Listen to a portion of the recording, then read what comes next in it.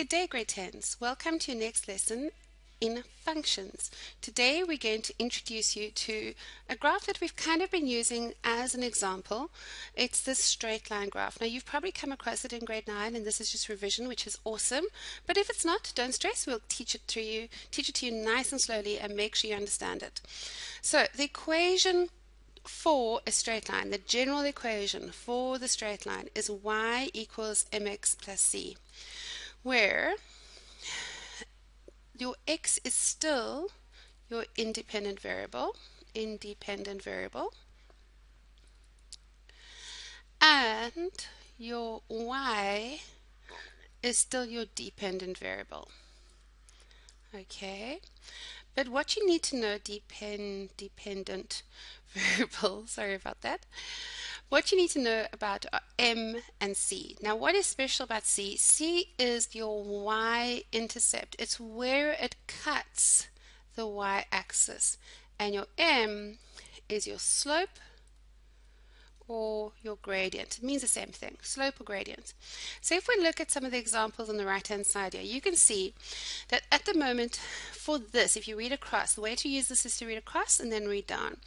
So, or down and then across makes a difference. But in this case, we're going to read across. In this case, C is greater than naught, which means that your y cut, the place where this line cuts the, actually, you know what I'm going to do? I'm going to change the different color and then highlight the line so you know what I'm talking about.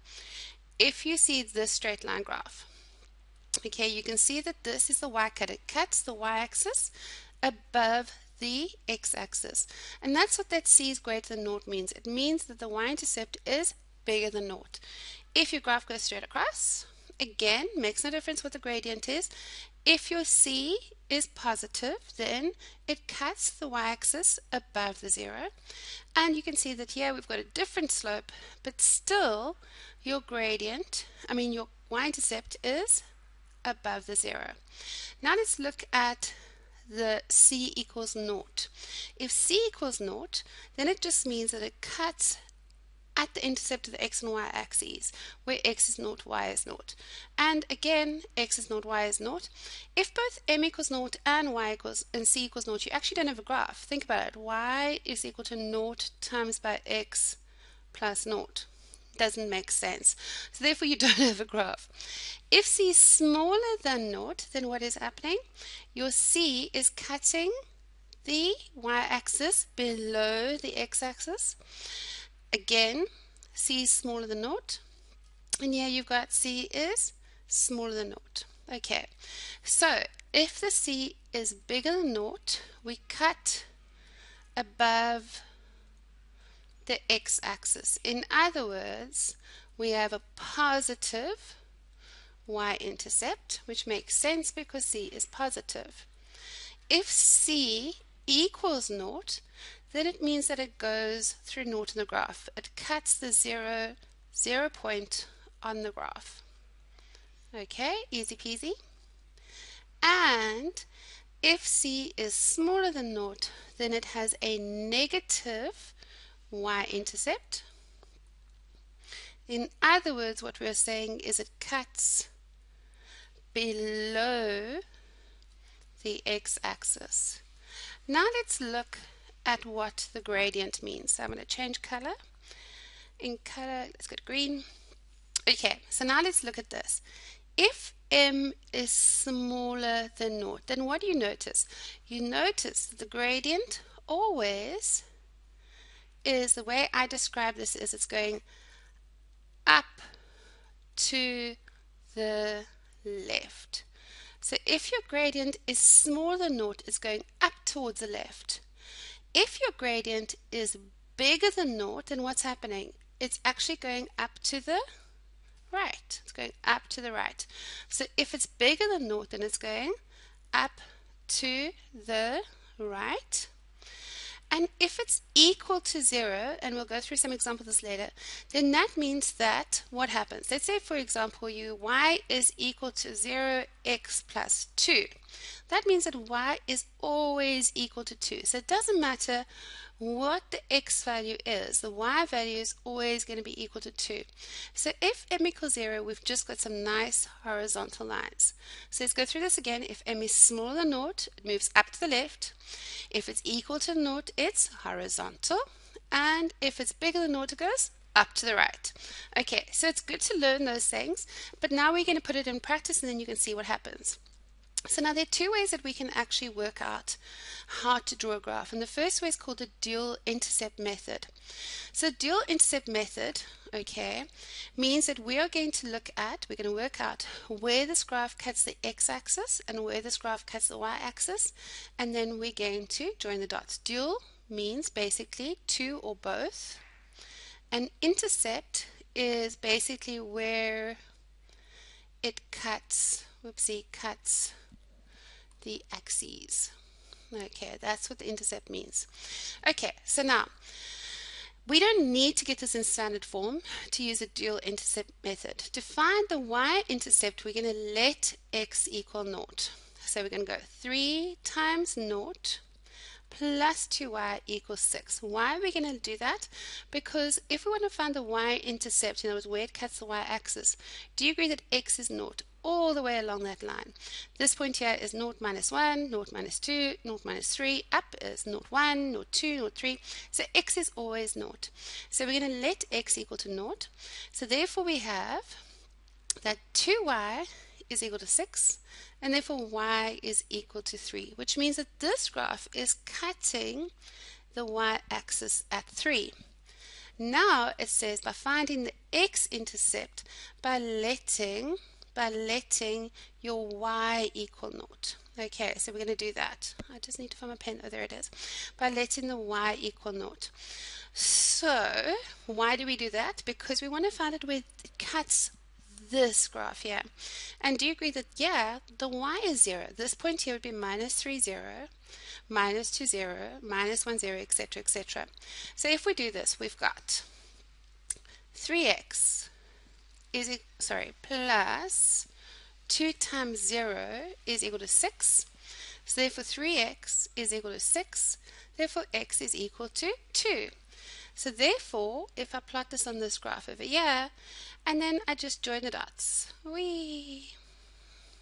Sorry, I always do sound effects when I'm trying to draw a straight line. I don't know why. So there is our graph, okay? And it's going through 3 and 2. Right. Now the next typical type of questions, it says, now please note we did not need to put the equation into standard form. It is very important that you don't. Okay, let's look at the gradient intercept method of exactly the same question. Now in this question, we need to put it into the standard form. So in order to put it in the standard form, we need to make y the subject of the formula.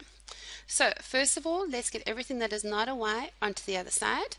So we've got 2y is equal to minus 3x plus 6. Then we're going to divide both sides by 2. So you've got y is equal to minus 3 over 2x plus 6 over 2. So therefore we've got minus 3 over 2x plus 3. Now from that we know that 3 is the y cut because that's our c. Okay. Then we know that this bit here, this minus 3 over 2, this m is minus 3 over 2. That is our gradient. Now negative gradients mean that they go up to the left. Remember we learned that, up to the left. And now we're saying, okay fine, we know that this is actually your rise over your run. Your gradient is your rise over your run.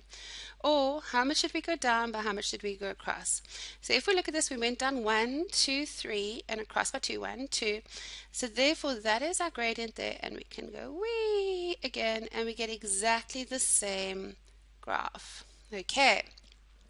Now, just to make sure that you do know how to work out the domains and ranges of straight line graphs, we've actually done this before in the previous um, video, but let's just go through it again. Remember that the domain is what? Your domain is your x values. It's how far this graph stretches across the x axes.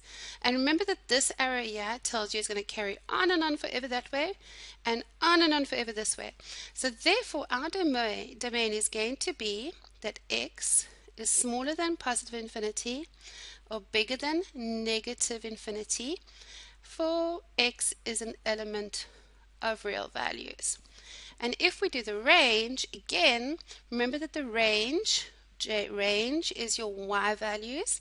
And again, these arrow tells you it's going to go up forever and it's going to go down forever.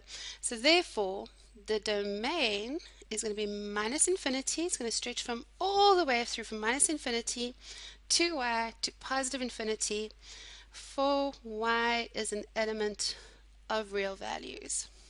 Right. Now let's look at vertical lines.